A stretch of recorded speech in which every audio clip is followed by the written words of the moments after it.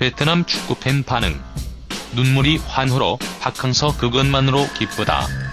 SNS 한국 친구님 축하합니다. 베트남 팀 수고하셨습니다. 베트남 축구 팬들이 한국 23세 이하 대표팀에게 축하를 건네 화제다. 베트남은 29일 오후 6시 인도네시아 보고르 파칸사리 스타디움에서 열린 2018년 자카르타 팔렘방 아시안게임 4강 한국과 경기에서 1대3으로 패배, 결승 진출에 실패했다. 이러한 가운데 베트남 축구 팬들이 사회관계망 서비스를 통해 한국 23세 이하 축구 대표팀을 칭찬했다. 한 베트남 축구팬은 한국 친구님 축하합니다. 베트남 팀 수고하셨습니다라고 말해 승부를 떠나 두 팀의 경기력을 칭찬했다. 다른 베트남 축구팬은 흥민 씨 축하해요라고 글을 게재, 한국 대표팀 주장 손흥민을 응원했다. 또 다른 팬은 SNS를 통해 우리의 챔피언은 베트남이고 당신들은 영웅입니다라고 졌지만 잘 싸운 베트남 선수들을 위로했다. 한편 베트남은 일본 아랍에미리트의 준결승 패자와 오는 9월 1일 동메달 결정전을 펼친다.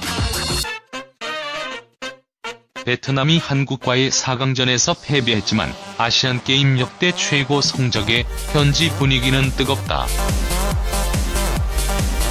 베트남 축구 대표팀은 29일 인도네시아 자와바라주 보고르 치비농의 파칸사리 스타디움에서 열린 한국과의 2018 자카르타 팔렘방 아시안게임 남자 축구 4강전에서 1대3으로 패배했다. 박항서 감독이 이끄는 베트남 대표팀은 이번 대회 조별리그부터 16강, 8강전까지 5경기에서 무실점 전승을 기록하며 역사상 처음으로 준결승에 진출했다. 베트남은 한국에 가로막혀 결승에 진출하지 못했지만 아시안게임 최고 성적을 기록한 만큼 베트남 팬들의 반응은 뜨겁다. 베트남 매체 VN 익스프레스는 한국전 패배 후 팬들의 눈물은 환호로 바뀌었다며 수많은 팬들은 대표팀의 역사적인 준결승 경기를 자랑스러워했다고 전했다. 4강전 당일 베트남 수도 하노이에는 비가 내렸지만 팬들은 아랑곳하지 않고 수천 개의 깃발을 흔들고 트럼펫을 불며 베트남을 응원했다. 베트남의 이날 경기는 쉽지 않았다.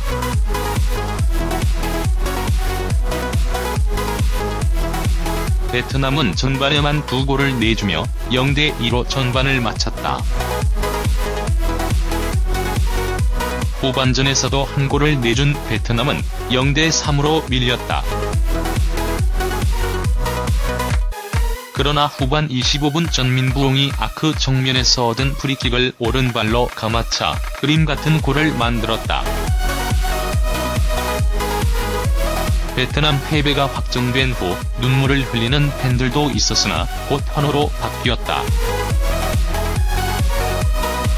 베트남의 한 축구 팬은 베트남은 경기에서 졌지만 준결승에 진출할 수 있었고 훌륭하고 아름다운 골로 득점할 수 있었다.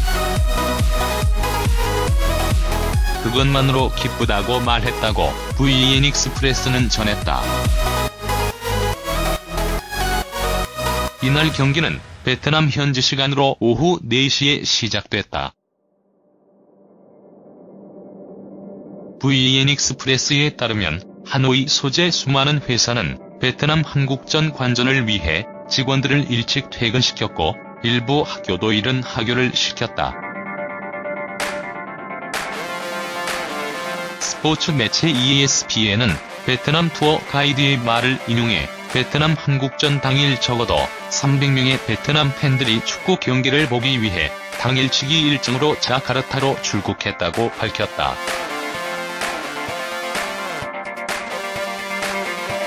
베트남은 오는 9월 1일 아랍에미리트와 동메달 결정전을 치른다.